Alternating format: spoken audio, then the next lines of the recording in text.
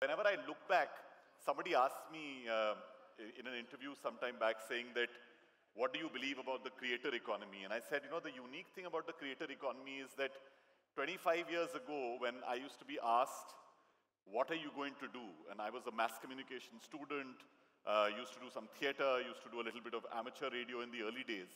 Um, one really didn't know, one didn't have an answer. I would just turn and say, we will discover as we go along. But over the last 25 years, I've seen this Mahabharat kind of happen all over, and it is Mahabharat not just, not, not just in the battle of the mediums, but it's also a Mahabharat in terms of just its size and scale and volume that it has become. Um, and it's really, really interesting. Uh, today, I sometimes often look at myself sitting on the sidelines, seeing a lot of what's happening. Uh, it's wonderful to see so many uh, young creators here as well. Anushka, it's lovely to see you. I mean, it's, uh, I, I, last saw her at the NAS Summit, uh, but it was really fantastic to bump into her this, this morning. Um, I'm, I'm going to basically try and do two things here. One is that I'm going to try and tell you a little bit of what's happening with the entire on-demand economy, what are the trends, what are the changes. But on the other side, how are creators going to adapt to it and what are some of the trends that could be great for you all to look at as innovations or places where technology could be leveraged?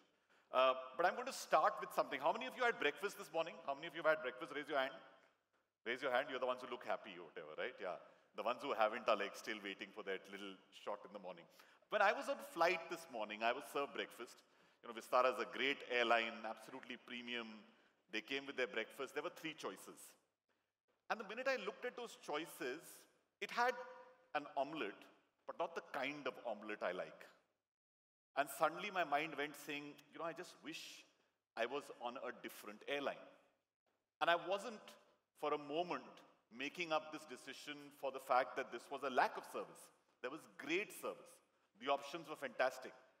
But the thing that was really exciting me was the memory of saying, yeah, I wish I could just have a Maggi right now. Sometimes it's a need. It's something you want to do. And what I love about some of the other airlines is just the amount of choice you have. You can go and get seven kinds of juices, four kinds of sandwiches, three kinds of poha, idli, upma, anything you want. You've got zesty noodles, chicken noodles, anything that's required. And this is something that is directly relevant to what's happening with the on-demand content space. We live in an era where choice is fundamental. It's a fundamental principle. It wasn't. 15, 20 years ago, we used to sit on a Thursday to watch a Chitrahar, on a Sunday to watch a movie. It was predetermined. We would listen to Amin Sayani on a Sunday on a Cibaca Geet Mala because that was the only day we had the option. There would be people across my entire colony who would be nice to my mother because she was the gatekeeper to letting them come in and see television. And I promise you, watching a Chitrahar had 40 people in a drawing room. That's what used to happen. There really was no choice. Everybody was a gatekeeper, from the people who owned the medium all the way down to the person who owned the device. It was exactly that. But where do you exist? You live in an era of unlimited choice. This is something unique. How many of you saw the Oscars yesterday? How many of you saw it live? Some of you saw it live early morning? No, not, not early morning.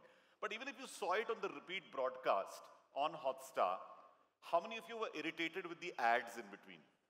Right? Because you are no longer keen to see commercials in between. You want uninterrupted viewing. It's a choice that you have made because you pay for a subscription. And you know what happens is we pay for our comforts, and in case we don't pay, that's when we have to handle the discomfort of watching ads, of having 30 kinds of infomercials and graphics popping up on your screen. This is the price you need to pay. In places where you are not paying, remember, you are the product. You are the product being sold on Instagram. You, as an audience, are the product being sold on a Facebook on a YouTube, everywhere else. The minute you start paying, the product suddenly comes to you and says, now let me build a walled garden around you and give you exactly what you want. So choice is almost now a fundamental right.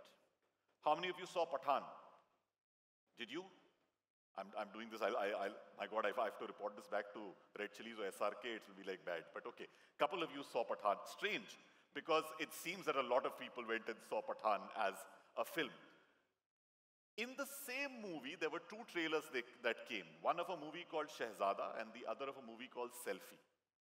Neither were able to even do one hundredth and I think even lesser is the amount of business. I think, yeah, I mean, from, from numbers that I was told, one of them might have a lifetime value of 11 crores. 11 crores versus a thousand crores for a Pathaan.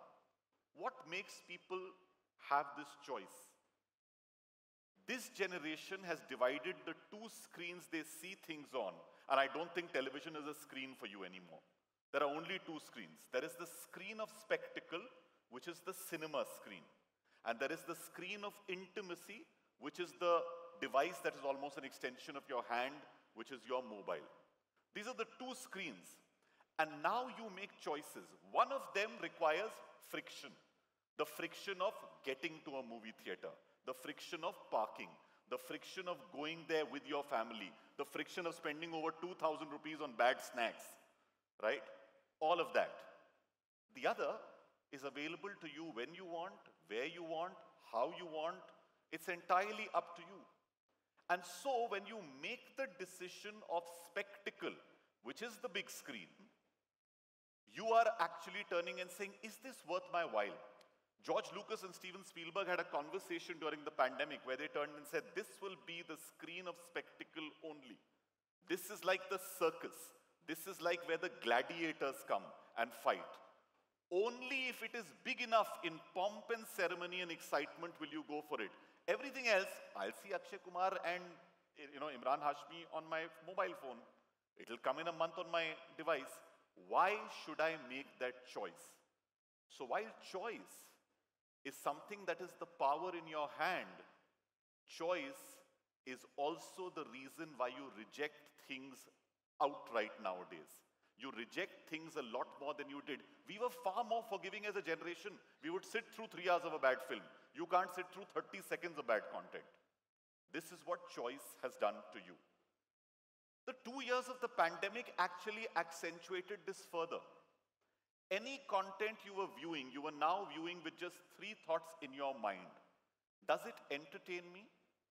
Does it empower me? Does it make me visible? As a content creator to today, the people who were smart, the content creators of today, took these three points and said, I'll do one of these. Which is why the viral dress up challenges, the dances, etc. That's the entertain me economy. The economy of which Anushka is a part and so many other people are a part is the empower economy. I will teach you. I will show you. I will empower you with knowledge and learning. And that is the kind of stuff that you will look out for. The make me visible is the part which says, Can I be a hero? Can you make me the star? Can I be the next person who will feature up there? These are the three fundamental choices that you all are making. And new creators know how to do this exactly. They know how to interest you, not how to interrupt you. Interruption is the biggest problem that we have faced in our media for the longest time. If you try and read an article today, there are at least 40 places where your screen is trying to divert your attention. The article itself wants to give you a subscription. Someone on the side is trying to see your likeness and give you something. It's this interruption that you avoid. It's an anathema to you guys.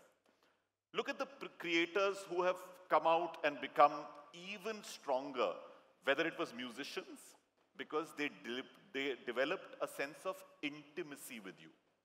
The small screen has a genuine intimacy it establishes with you, which is why highly produced videos do not work on a small screen. It is a natural video, a video where the light may be bad, a video where the person converses. I run a big spoken word community and we handle a lot of storytellers and artists, and we've been advising them that change this performance style to a conversational style. Become shareable. Do not try to become a spectacle because you cannot. Today, good creators have taken this economy and are slowly becoming brands, production houses, agencies by themselves. Prajakta was at the UN and at Davos. Why is a young creator invited to these places? Because while these are walled gardens, there is a need by the very owners of these walled gardens to have young creators present so that the Gen Z audiences or the Gen whatever is able to come in and see what they are up to. Relevance becomes absolutely critical. Tanmay is today no longer just a commentator. He's making the ads for Lenskart, for Cred. I met him just last week, and in that conversation, he said, You know what? I need to do nothing. I need to write one ad a month, and it'll earn me the salary of an agency. That is the power of young creators today who understand their audiences. Bhuvan Bam, who started with BB Ki Vines, is today running his own production house, the number one rated show on Amazon for six weeks. The longest running show was Taza Khabar. Why? Because Bhuvan appeals to an audience which he unashamedly acknowledges. उस show में दो लाइनें हैं There is a line in which they turn and say, जादू और चमत्कार में फर्क क्या होता है What is the difference between magic on one side and a miracle? And he says, faith. Faith is the difference.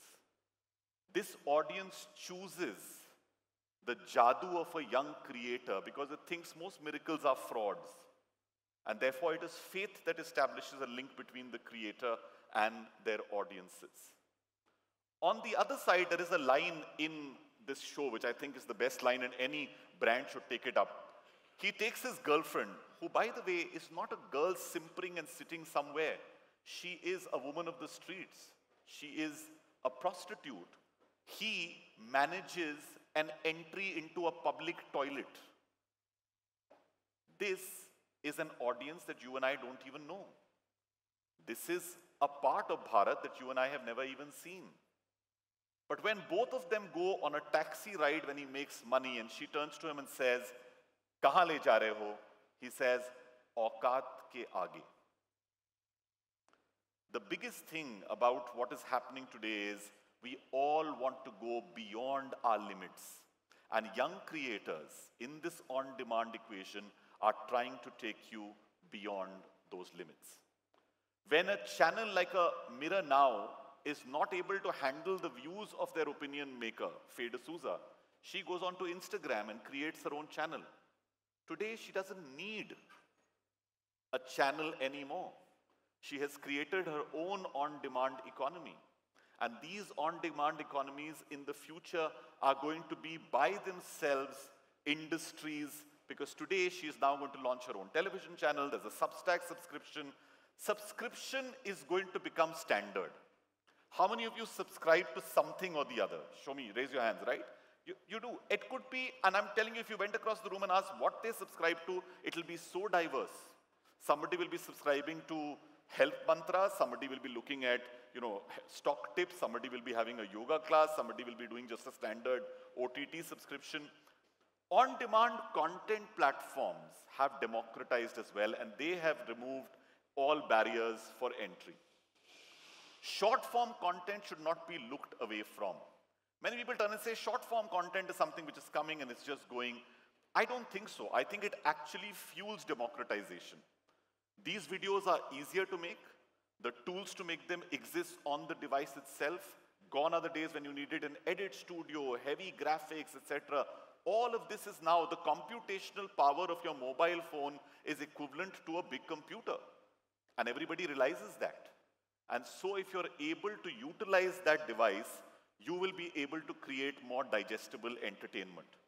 This short attention span that people keep talking about, do not people realize that the shorter attention span also means that shorter bits of content can be created, which break traditional boundaries. You do not, how many of you now, when you do, a, I see so many old creators do a YouTube show which will have the formal introduction, because that's what they learned. But if you see a new creator, they jump straight into the content. The first thing they will put out will be the bite that's going to hook their audience. They will take the best part of the interview and put it up front. We were taught never reveal your magic. Let it come in the middle. These are entirely changing the norms of what used to happen. Shorter attention spans create now a more fun, a more participative, and a more creative environment. YouTube is the TV of Gen Z. While Instagram and Reels are almost the trailers of the shows that you get to see. YouTube and you know becomes the place where people go to legitimize their influence because YouTube is creating appointment viewing. Prajakta's manager, uh, who's a good friend of mine, Sudeep, I was talking to him one day and I asked him, I said, so, you know what, she just creates what she wants. He said, are you mad? She has a schedule for Monday, a schedule for Tuesday, a schedule for Wednesday, a schedule for Thursday. And if she misses it, even by a minute, go and look at the content comments below. And there are people turning and saying, samajhti apne aap ko? Itne baje. Appointment viewing on YouTube is replacing appointment viewing on television. And this is something that most people don't seem to realize. These are important things to look at. And this short form content as a gateway to the long form content on YouTube with a subscription option is the new monetization that people are building. But what this requires is that you have to be really good at what you do. The best YouTube creators know that they must have the best answer on the web. Because the best answer is just a search away. Or today, maybe a ChatGPT comment away. So how will your answer be the best answer? Access has led to excess. Today, there is just too much to see. Passive viewing trends, binge watching, is now leading to a counter trend. The counter trend that is happening in most channels now is people are dropping things on a weekly basis. Gone are the days where you'll see a show. Last of Us did not launch with all episodes at one go because they say we are good enough for you to make appointment time every Monday. Otherwise, wait for eight weeks and then see me together. This is a big, complete change, right? The entire thing of binge doing and dropping things in totality has completely gone. Behind every great video is an exhausted creator. I can see the smiles from, from the ones who are there. There are just too many options. Fame is really, really short-lived. The truth is only 2% make money. So when you hear this 10,000 crores number, I'm sorry to say, but a lot of it is bullshit. Because that number is also from the music videos that is played. They are putting up every number. A friend of mine who's a journalist actually went and asked them saying, segregate the independent creator from the upload of the music videos and you will come across the true number. So while everybody says this is a great economy, it is a great economy for 2% of the people who are there. You have to conquer ageism. And when I say ageism, here content creators age 10 times faster than we used to. I remember in the early days when I, I got into television, I was told if you're a good creator, you'll have five years. If you're a great creator, you'll have 10. If you're God, you'll have 20. Mr. Bachchan has more than 20, right? Because he is. For any of us of our era, he was that. But that number has shrunk for online creators. You're constantly fighting for relevance. And ageism can only be broken if you reinvent yourself. Tanmay is a great example of this from creating gaming reactions, videos, live streams. He has moved entirely from comedy because he is constantly seeing what is popping and becoming relevant to that generation. I must tell you, I try to do this all the time and I fail miserably because I just do not have it in me to create content on a daily basis anymore. But I'm okay with it. I'm fine with it. So I've built a little niche for myself within which I will exist. This Access leading to excess on the reverse has now created the era of the micro niche. The micro niche era is happening. People, you know, there's this lovely article called uh, A Thousand Fans. I think that thousand fans can actually come down to even a hundred fans. Because if a hundred people are willing to pay you 10,000 rupees, that's 10 lakhs. Can they pay you that kind of money? Is that enough to keep you going? And imagine if you had 500, that could be 50 lakhs. Sub-segments of creators will happen. You will find if you go onto your Instagram feed now, people are giving you solutions for 299, 399 for everything, motivation, weight loss, finance, yoga. Then follows a whole set of templates. If you're a creator, there are people giving you free templates for the same.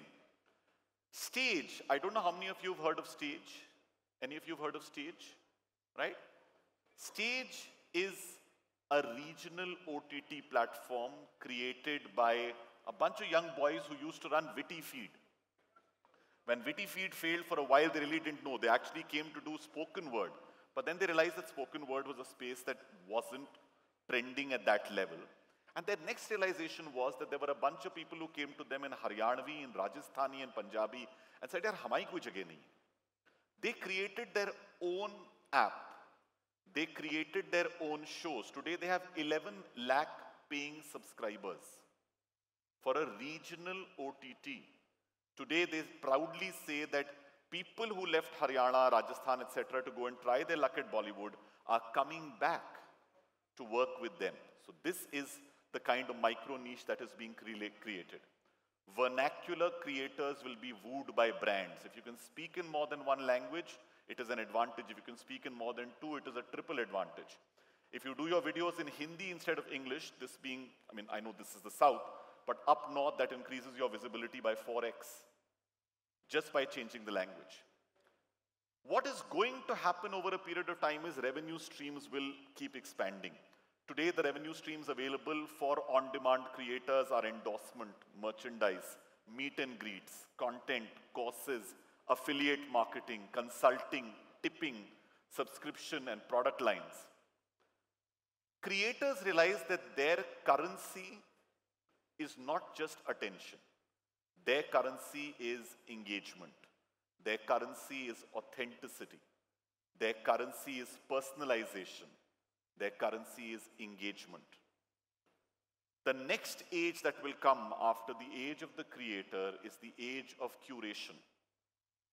Very soon there will be so much to watch that you will not know just what to watch. And then you will turn to curators. Curation is currently something that AI does. When you watch your Netflix channel, there is a this is for you. The AI is seeing what you saw, how long you saw, what part you stopped at, etc., and then deciding. But this is something that human beings can do as well. There are at least eight or nine different apps and ventures working around curation as an economy. I don't know how many of you have got an app called Just Watch. Just Watch is an app where if you enter what you liked, it is aggregating and giving you reviews, etc. Fabulous app, by the way. Uh, really, I, I discovered it early and it helps me a lot. There is an app called OTT Play that is saying, why do you need to subscribe to 18 things? Why don't you come for all 18 to just me? I will be a layer on top of the OTT. So on the top, there's something on top of that as well. That's the curation that is going to happen. AI can be a big assistant to you in this. So if you can combine some element of AI into your curation, it is something worthwhile. The new trend after entertainment is infotainment. Ankur Warikoo, Kumar Varun with his quizzes, all of these are fastest growing categories because education, financial literacy, infotainment pages are growing at a very rapid pace. There are 1,400 on last count channels that have a million plus subscribers on YouTube. I hope ours will be the next because we are somewhere in between, I, I don't know. But the reason why these work is because the content is personalized, there's lots of increased use now of AR and VR to enhance viewer experiences. That's what's going to happen as well. And there's a lot of high level of engagement between the creator. They answer your questions directly. Therefore, they make something impersonal into something very, very personal. Don't be scared of AI. I've seen so many creators who are currently saying, Ab kya hoga? Oh my God, these guys will come.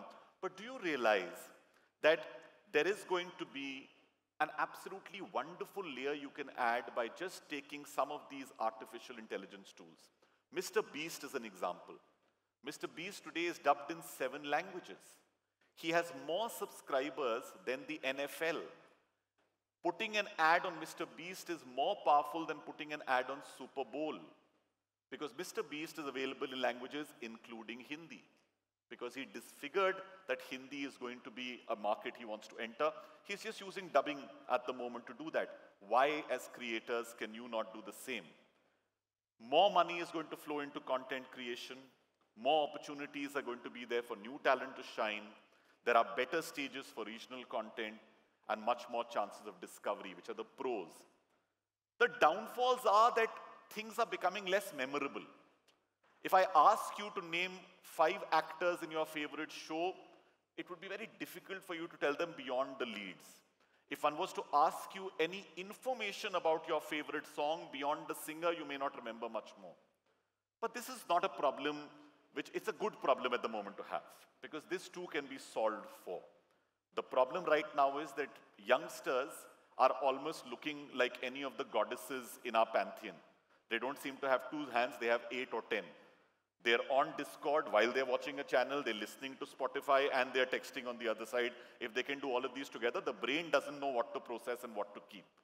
So at some point in time, you will go in back into the era of saying, you know what, I'm going to dedicatedly do just one thing. This is something that will happen over a period of time. As I said before, OTTs are fighting this with binge drops. So they're dropping, they're making something which is now a daily drop. They are learning from the TV serial era. So it's such an interesting time. What you reject is what you're learning from. But these are things that you've got to constantly be aware of. I began by talking of Maggi. And I know many of you must be feeling hungry as well. And I have only about two minutes left. So I'm going to finish the Maggi analogy for you. Last week, when I was really craving this Maggi, I went to a supermarket. And you know what I found? I found five flavors of Maggi but right next to it was Nissin.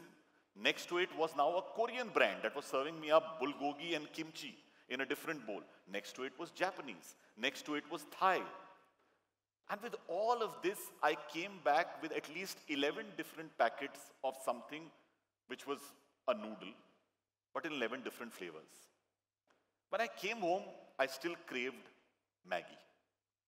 Because nostalgia is going to be one of the biggest things that will keep coming back. The more you will have the new, the more you will miss the old. The only difference is that the cycle will change. Today, when music is available at any frequency to you, on Spotify, on all your apps, vinyls are becoming art. The time when paintings became, remember, there was a time when paintings were the normal format of exchanging pictures. Then came photography and paintings became art. Now that when there will be generative AI, real photographs will become nostalgia and art. So keep looking to the past. Don't reject it. There are some great things for you all to see there. A basket full of options allows you choice. The choice to either go for the new or to find some favor with the old that is a choice that you need to make, but that's all I wanted to leave you with. Thank you.